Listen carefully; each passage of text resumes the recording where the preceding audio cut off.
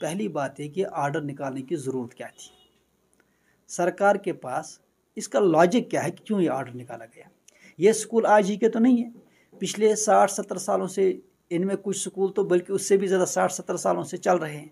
अब अगर साठ, सत्तर सालों से स्कूल चल रहे हैं, एक पूरे कानून के तहत, एक पूरी गवर्नमेंट परमिशन के तहत, एक सिस्टम के तहत चल रहे हैं तो आज इन स्कूलों पे पे ये जो कदगन लगाया जा रहा है तो इसकी वजह क्या है?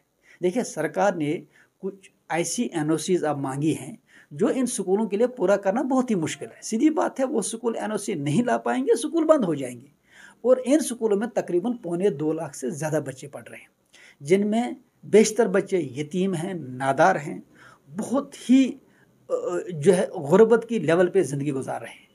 अब आखिरकार हमारे लिए जो सबसे बड़ा इशू है, वो ये है कि तालीम जो है कानून के हिसाब से fundamental right of a child right to education act उसके तहत ये बच्चे की मर्ज़ी है ना, वो किस स्कूल में पढ़े? सरकारी स्कूल में पढ़े प्राइवेट स्कूल में पढ़े, या उसके पेरेंट का हक है कि वो किस स्कूल में अपने बच्चे का दाखिला कराए?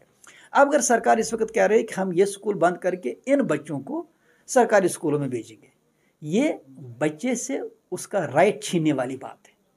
क्या गवर्नमेंट एम्पावर है to take away the right of a child आखिरकार एक चाइल्ड के, एक बच्चे के बाकायदा कॉन्स्टिट्यूशन ने राइट्स दिए हैं। फ्री एंड कंपलसरी एजुकेशन उसका राइट है। स्कूल चूज़ करना उसका राइट है। और अगर सरकार उससे ये हक छीन रही है, अपने लिए, अपना करियर बनाने के लिए, अपना स्कूल चुनने का तो ये उसका बुनियादी हक छीना जा रहा है, जो आइन के ख़िलाफ़ है, कानून के ख़िलाफ़। तो ये एक तरह से बहुत ही इलाजिकल बात है।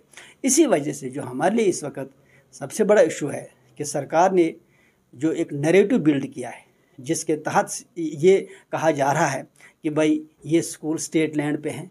सवाल है कि सुप्रीम कोर्ट की बाकायदा जजमेंट है कि स्कूल अगर सरकारी लैंड पे भी है तो उनको रेगुलर किया जाए।